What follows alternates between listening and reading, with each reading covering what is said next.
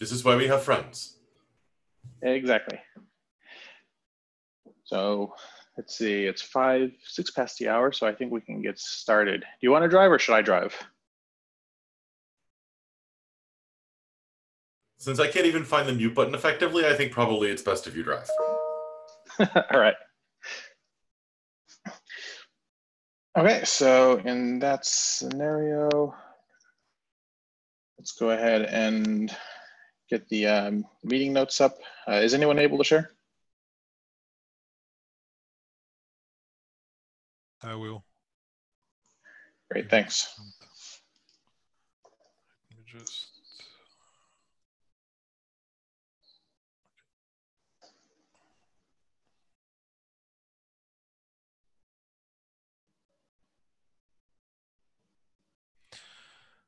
Okay. Um, this is not May 8th, definitely.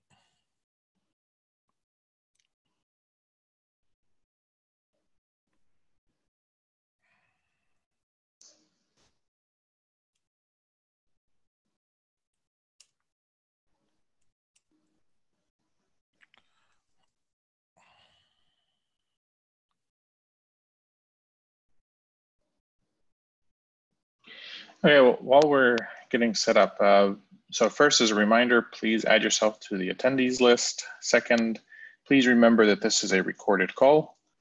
Third, um, if there are any topics that anyone would like to uh, bring up or any documents or anything uh, that, are, that is not on the agenda, then please, uh, please bring it up.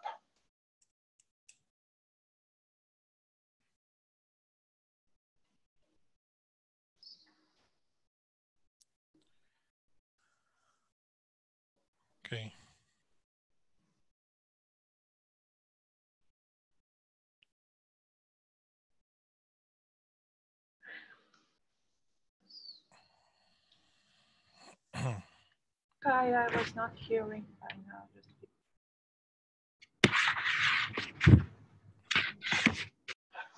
I'm sorry, what was that? it was Ivana. I just said hi because my audio was not fine.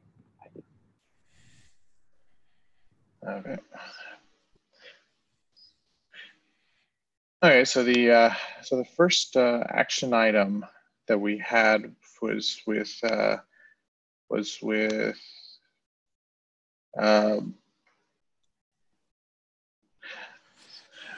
okay, so uh, in terms of so in terms of the release notes, let's go ahead and uh, and get started there. So overall, um, I personally am pretty happy with how the um, the initial set of releases um, uh, how the initial set of release notes were were looking. Um, let's see, that's that's against the change log. Yeah. Uh, So let me see if I can find the. Uh, ah, in Google, maybe this this this here. yeah, that's the one. Mhm. Okay.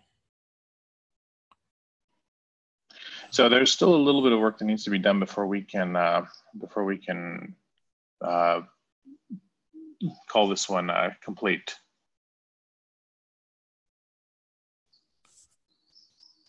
So uh, in terms of um, so in terms of tasks, um, I want to go over some of the the details if possible. So in the getting zero one zero, are those the three areas? We have Helm, Docker images, and signed Git tags uh, linked on, on GitHub.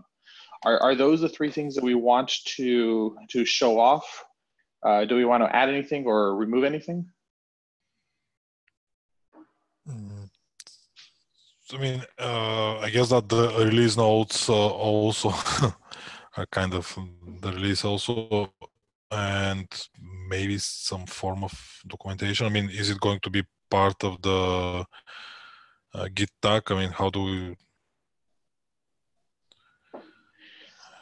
Mm. I mean, I think that at least the the, the releases that Istio does. Okay, let's let's let's get Istio. So they essentially have um, uh, archive of uh, the Helm, uh, a couple of readmes, maybe some, for example, configurations, things like that. and then everything is downloaded off uh, of Docker. Okay, so let's see. In terms of yeah, so so that that is a possibility. We could do a we could do a tarball with the Helm with the Helm charts in it, then that would definitely be uh, that would definitely be useful. So, um, so yeah, that's I, I think that's a good idea to to add. Yep.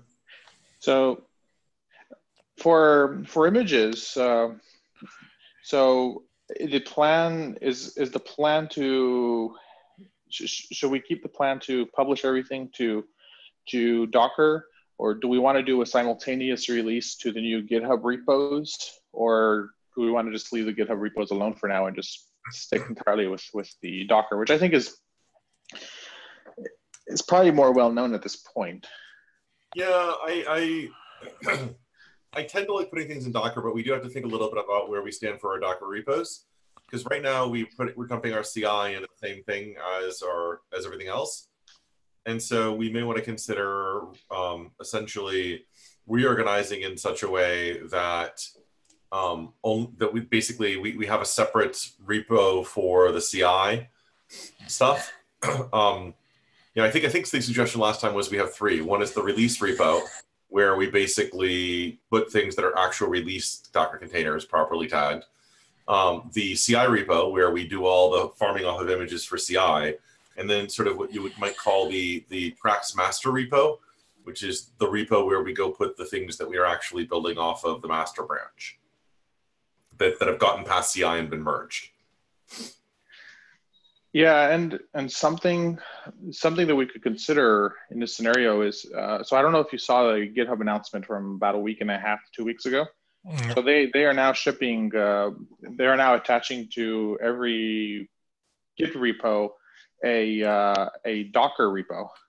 So you can actually do a Docker push and pull to a GitHub based uh, repo that tracks it. Yeah, I would love to do that. I have actually put us in for the beta for that for Network Service Mesh. But I see. So it's Oh. not it's not properly released yet. Is, is what I'm hearing. Yeah, no, I, I as soon as I saw it, I went and signed up Network Service Mesh for the beta. And we're also, by the way, in the queue for the beta for GitHub Actions, which would be kind of cool. Um, but to the best of my knowledge, we are not actually in either of those betas yet. Actually, the GitHub Actions is a really great example because that came out a long time ago, and they're still they're still not out. So I guess we should not expect to see this for a considerable period of time. It's hard to say. The thing is, like, I, I had originally, because I wasn't thinking about it when GitHub Actions came up, I signed up for my personal repo, um, for my personal organization, and that came through. And then I realized, oh wait, I'd actually need this for the network service mesh org, and went to sign this up for the beta list then. So some people are getting them. It just hasn't come through for us yet. Yeah. Okay. Um, so so I so I think from an action item then, uh, and I know this is a documents meeting, but we, we can hash some of this out here. Uh, is perhaps perhaps what we do then is we have the the main production repo, which could be like network service mesh, and then we we separate out the CI into into something that's uh, that's less noisy, and um, that way when we ship we we only ever ship to to a release uh, to a release branch. We're not uh, we're not uh, po- polluting the the other branch. Um, another strategy that i've seen as well is for people to create a development branch. So they'll have like colon devel and and they would then drive the master branch to to that but i think one of the one of the things that gives me a little bit of pause on that is that I think our our approach is a little bit more complex than a standard than a standard application, where you could build local images, see it work, and then discard the images, and then and then move it forward because there's no distributed aspect to it. So. Uh, so we so the so the so I guess the question is in the scenario is uh, is that something that we would want to do in in in for before this release and and make sure that the split is there and, and properly working uh, it is a bit close to the release which gives me which worries me a little bit but at the same time, having something that's clean that we can put put out there, I think would be of high value.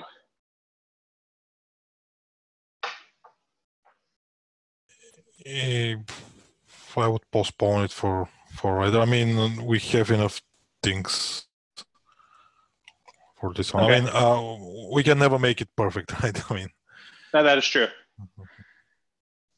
Okay, well, let's go ahead and and, uh, and postpone that. And what, what we'll do is we, let's just make sure that when you do the, the default pull, that we're not overriding the default uh, master. And master should always point to the to the latest uh, to, to the latest release branch. So so let's let's just double check the infrastructure to make sure that that's that that, that assertion is true and then beyond that, we, we can punt any splitting or any or any other things like that off to a, to a future to a future time. And then what we'll do is we'll describe people that they can either grab off of for the Docker images, they can pull off of either Docker master to get the, the latest release, or they can do Docker zero. Uh, so so here's a question: Do we want to have them? So we have when we do a pull, like in like suppose you're pulling Go you can pull like Golang master, and that always pulls the latest. You put Golang colon one, and that pulls the latest 1.x branch, which right now there's only one major release. But when 2.0 comes out, then that, that means that people will not automatically upgrade from 1.0 to 2.0. Uh, do we want to adopt something similar in this and uh, do do the release where we have like get Docker, sorry, get network service mesh zero, and uh, put a tag for zero one and a tag for zero one zero, and all point them to the same image for this point, and we can upgrade over time the the images appropriately.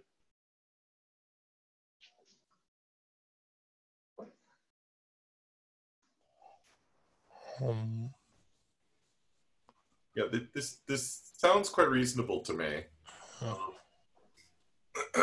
so yeah, I mean the, the it sounds quite reasonable to me as a way we could go about it, and it, it has the advantages of not proliferating repos a lot. Yeah, and we focus on on tags. So there's a new release, and then we rely on the tags to to allow people to select what they want. So if someone wants an exact version, 010, I don't want to move up to 011 until I fully validate everything works, then things are okay. And when we start to hit the, the full releases with, uh, with uh, NSM, where we have our first 1.0 release with semantic versioning, and then this, this will work beautifully, I think. It'll, it'll allow people to, to work out how much, how much risk do they want to take and or are they willing to accept uh, to uh, in order to get later later features or or bug fixes.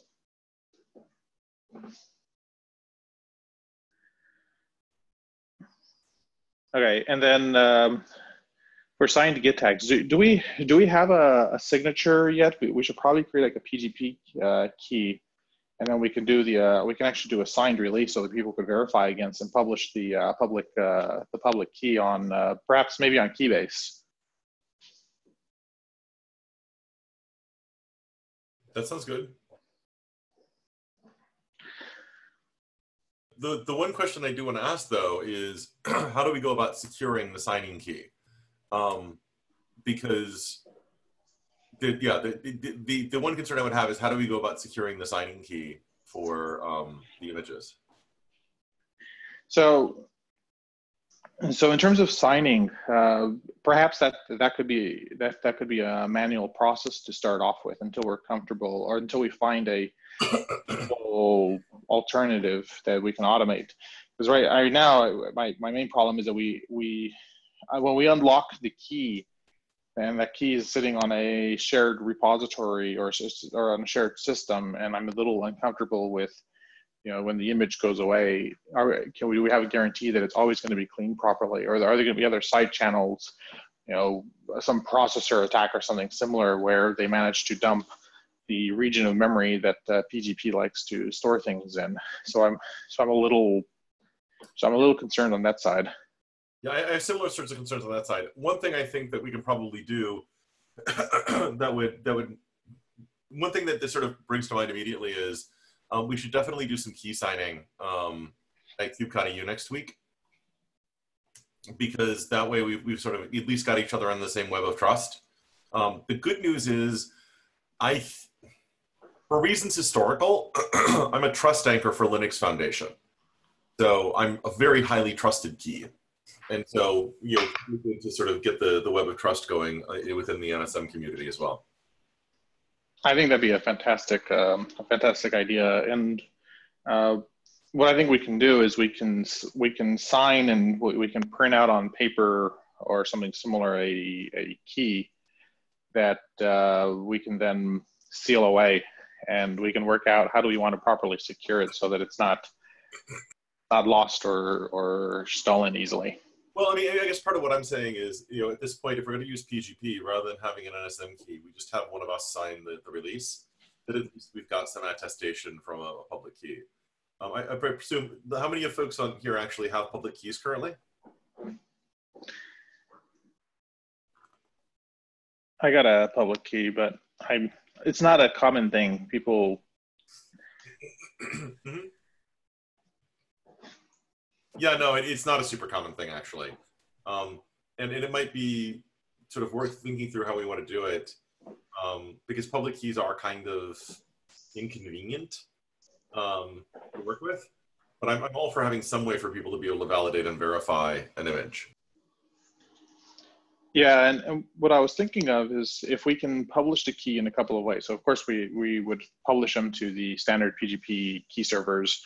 Uh, we can publish it on uh, into Network Service Mesh website itself, uh, which is gated with uh, with Git and secured with with HTTPS. Uh, the and, and publish the fingerprints and so on of the of the image. Uh, the third place that we could also stick something is again Keybase is gaining a lot of popularity, and they make the tooling relatively easy to for people to set up their their keys so that they can then verify images and so on. So. Uh, of course, it, it begs the question as to like, do you trust a third party entity to set up your your infrastructure for this type of signing. Uh, but if it's for the purpose of verification of the image, uh, I, I, think that, that that may be that may be an acceptable that may be an acceptable risk. We just have to see like, do we have to give Keybase the private key, or yeah, can we publish our own our own custom key? And I think if we can do a custom one, it should be it should be okay. Yeah, so lots of things to look into, definitely. Cool. So I'll take a I'll take a look into some of that stuff, and uh, I think we'll we'll work out a strategy for. And I, I think what you described is uh, is is perfectly reasonable. So we sign we, we sign each other, and any one of us, uh, like we, we either we either select somebody as the as the signer, or or perhaps we can do something where any one of us can can sign and verify the the keys. So we can work out a strategy on that, but let's work out what our primitives are first. Um, cool. Okay, so in terms of demos, um, so has has anyone gone over the rec uh, recently with, over each of the demos and made sure that uh, the demos work?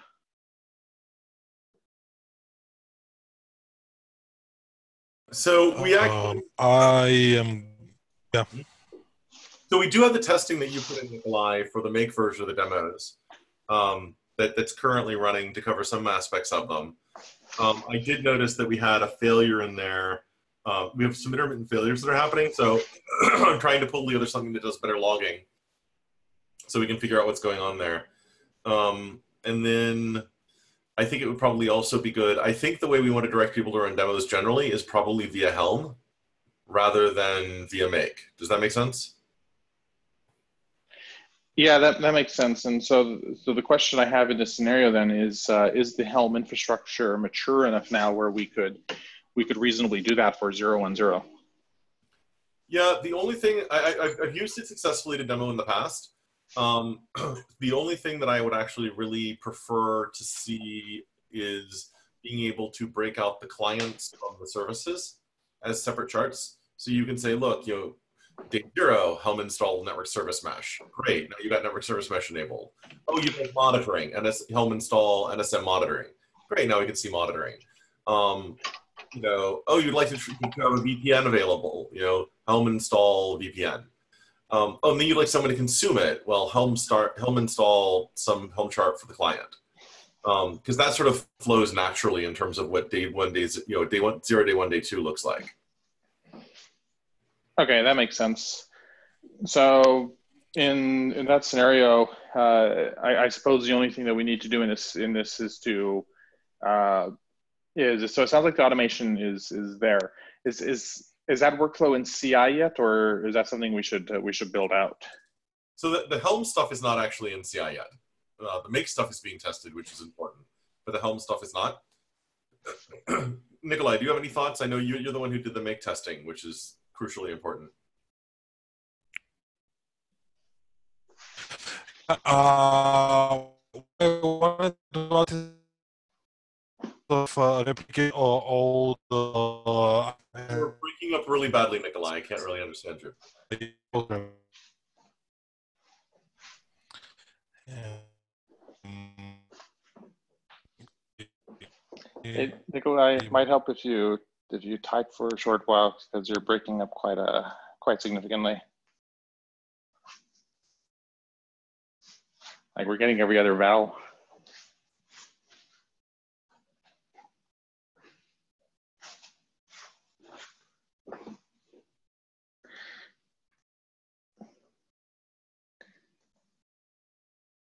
Okay, I think we I think we officially lost him.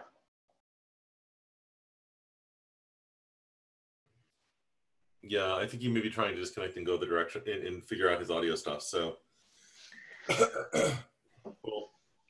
Okay, so I'm absolutely with you though about testing, figuring out what the demo is, getting it cleanly documented, and testing the uh, t- putting it in the CI.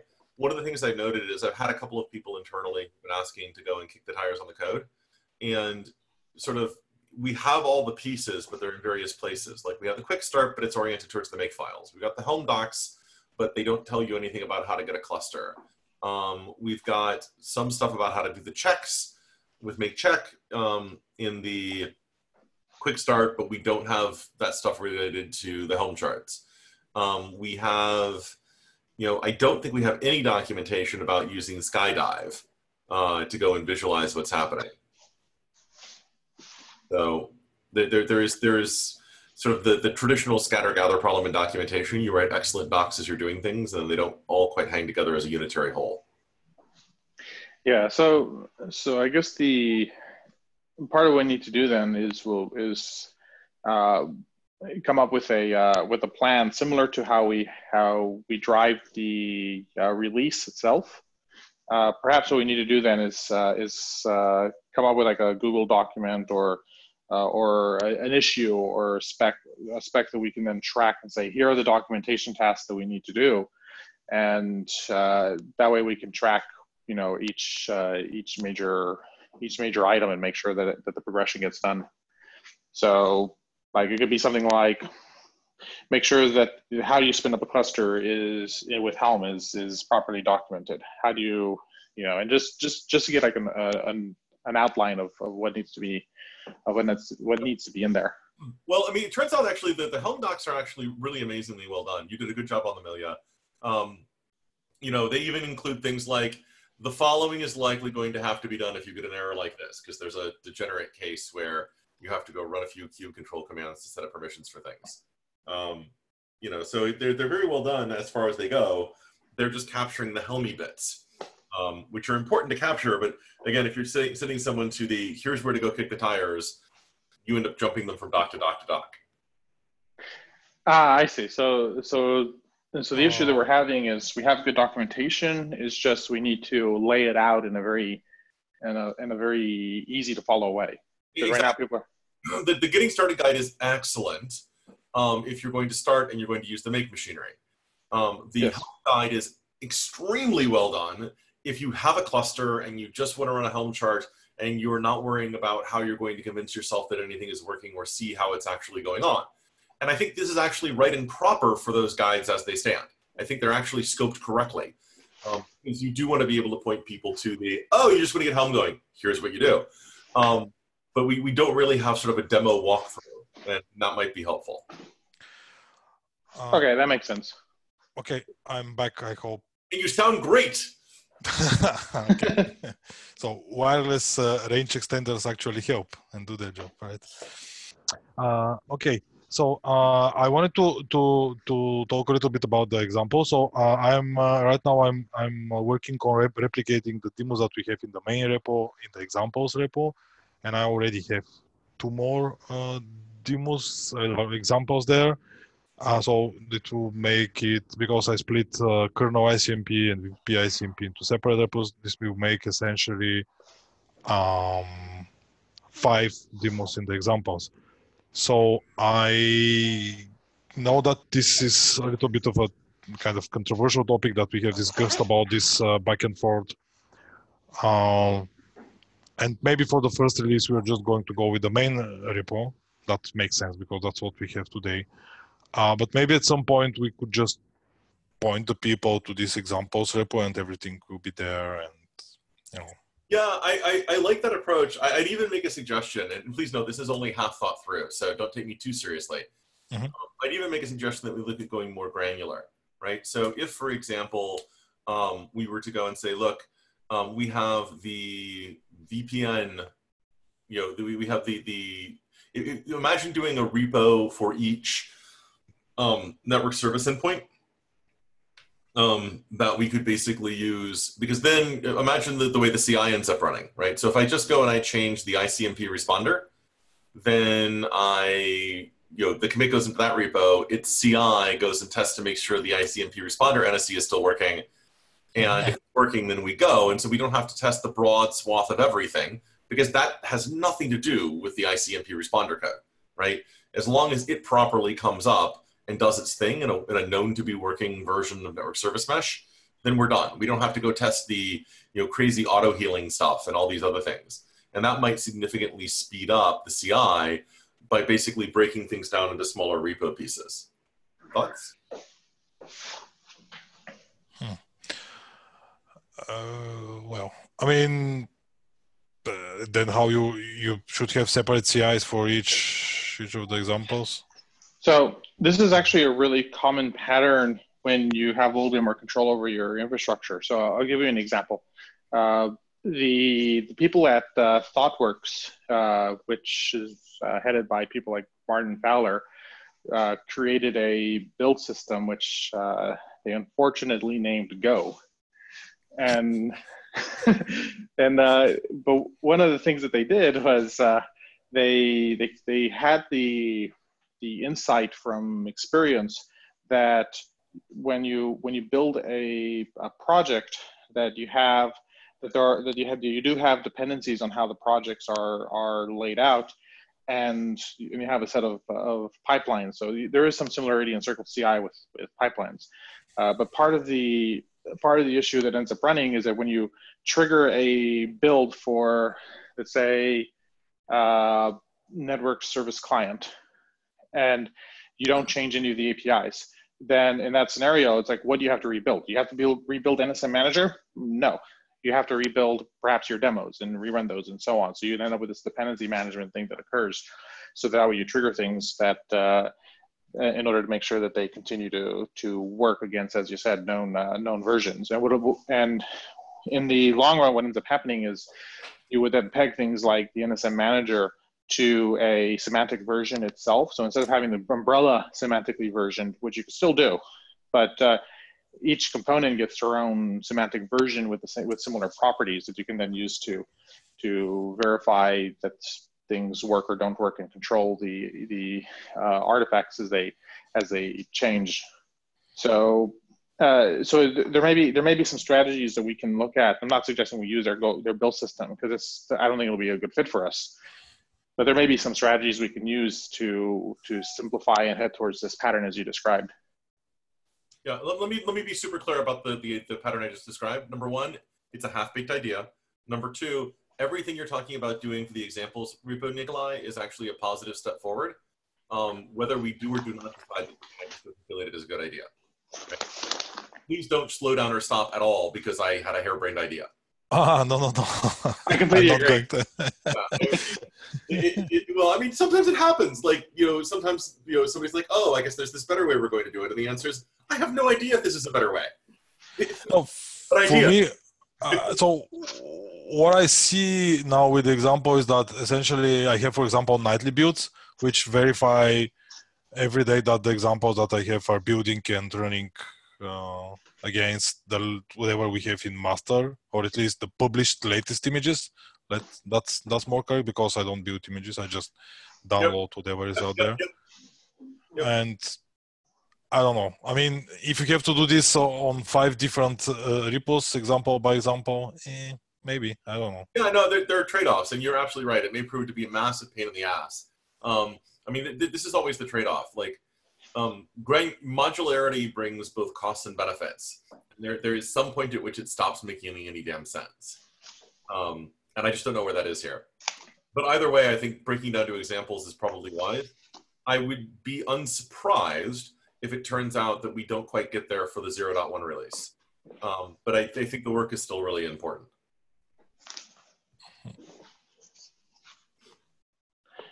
Okay, so uh, so in terms of of actionable items for for the release, so so it sounds like the the main thing that we need to do is ensure that the documentation that exists for uh, across the board and the uh, the documentation that uh, that Ilya put together uh, for Helm gets adapted in a way that that we can say, here's how you run a demo, and make sure that those are are are tested by people who have less or no experience with NSM in order to make sure that they're readable and understandable. I actually have a, a classic that I'm going to use. Um, when we did the, the initial open sourcing of VPP, um, there is I went and got a director to try the instructions. do you have a director in mind? I do, I do. He's going to be deeply amused, but possibly not cooperative. Um, you know, but but the, the thing was when I when he could sit down and from the instructions cold in less than 30 minutes actually have things working, that's when I knew we had good directions. Because he's a bright guy, but he probably hasn't touched code in 15 years. So, nah, it sounds good to me.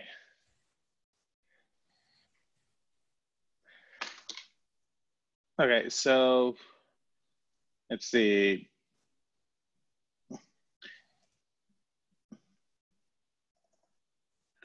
Me make sure this gets added to the uh, to the release notes.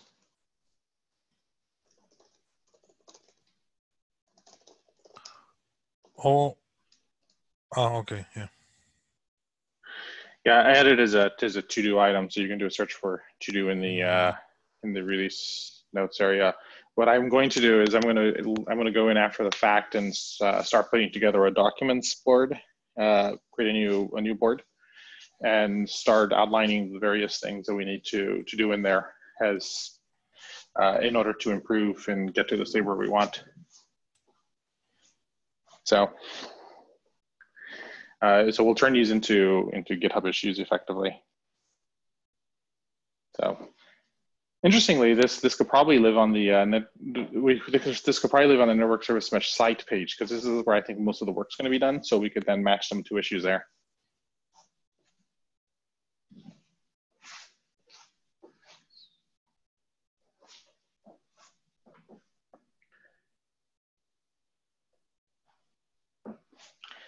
Um, let's see. In terms of the so in terms of the document, then I think those are the uh, those are the main ones that I wanted to cover in uh, in in this one. So, if um, I guess one one last thing is on unknown issues. How what do we what do we want to do on on known issues? Do we do we just want to leave the generic thing that we have at the moment, or do we do we want to call out very specific things? yeah i mean we could just say it's alpha please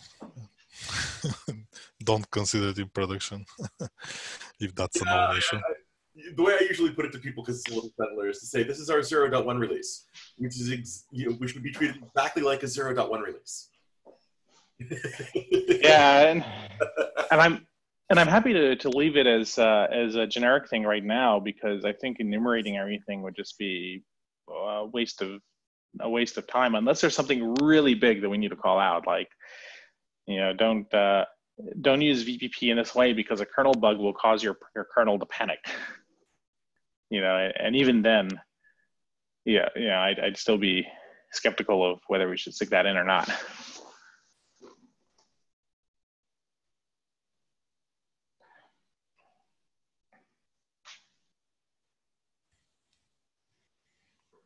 So how about we, we leave it as it, as it is at the moment?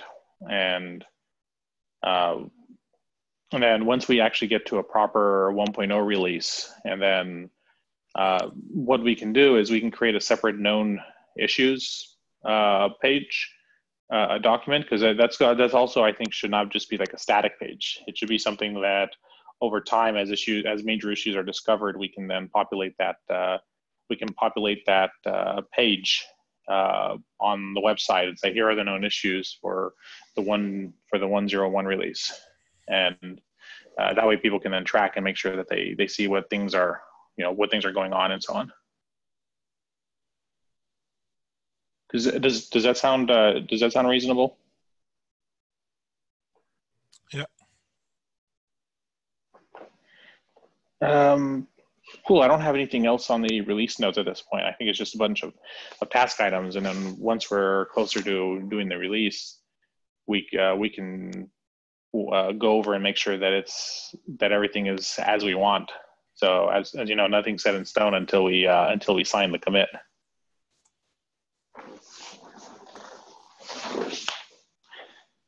So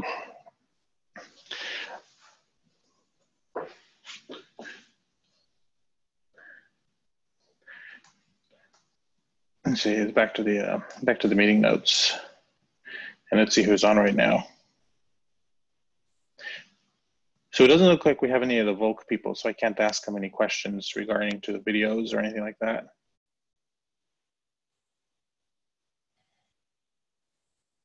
Uh, Nikolai, I'm, I'm gonna I'm gonna spend more time on the uh, on our presentation. I've been slammed with uh, my time schedule, but things are opening up now uh, now that I have a, I had a product uh, release that I have to push through uh, earlier, and that's done. So, if you are available, we can do a follow up after, like like this call. Yeah, the, the only problem I'm going to run into is uh, I'm supposed to be checked out of the room in 15 minutes, so I'm not going to have the okay. room anymore. So, mm-hmm. uh, but I have a I have a person I have a persona in mind uh, in terms of how I want of how of how I want to try to approach it. And so I'll pitch that to, I'll pitch that to you, and uh, uh, and I'll put I'll put together some some slides uh, Ed Warnicke style, and uh, see if we see if it uh, if it meshes well with uh, with how you're thinking of things. yeah, I, I slides already. I mean. Yep. So I mean, the, I, I also like for the intro stuff. We still need to get some slides together as well, and those are probably going to come in a little bit hot.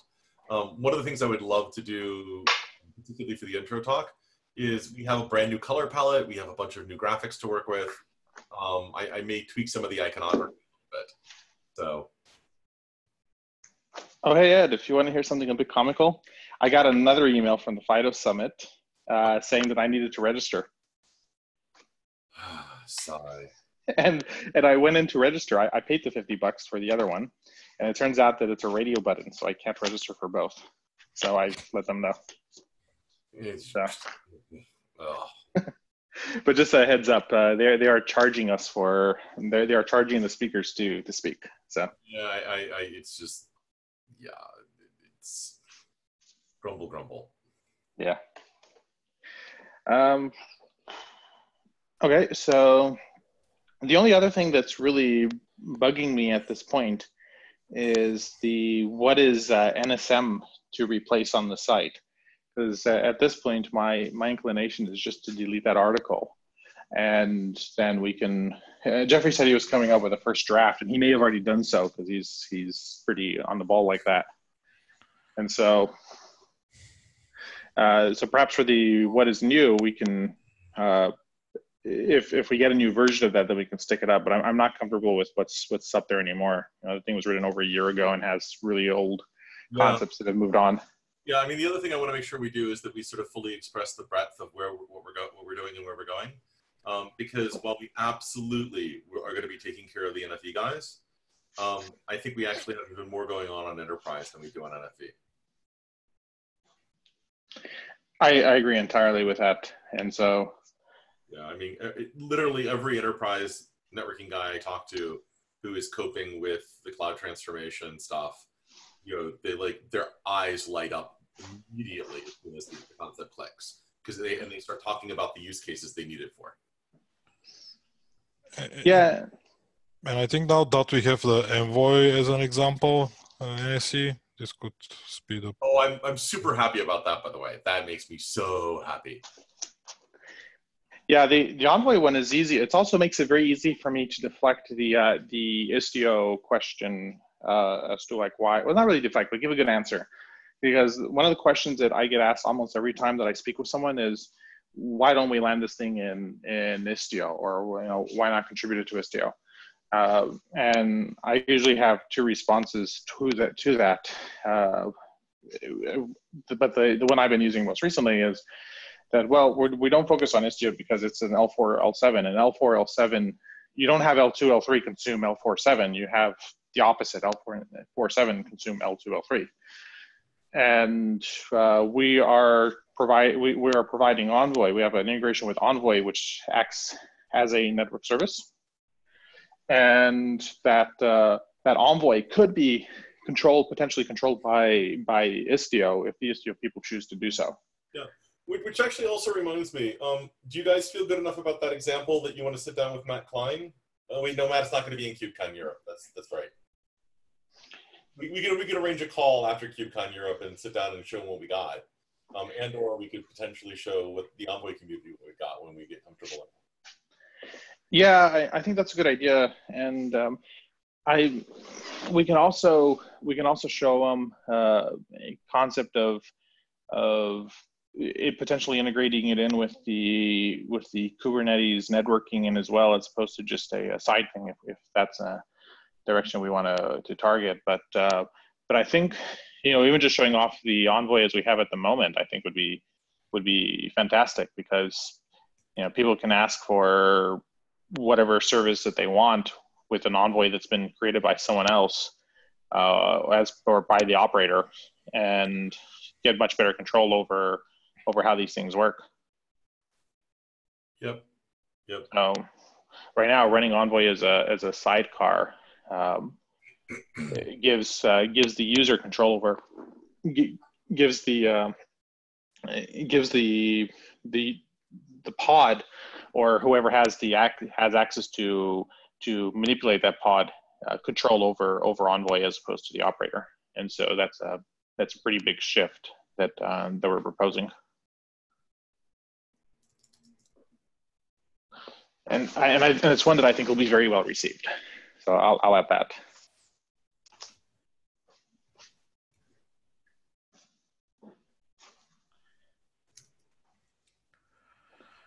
Um, let's see. I don't have anything else. Is there anything else that- that's uh, that people want to talk about?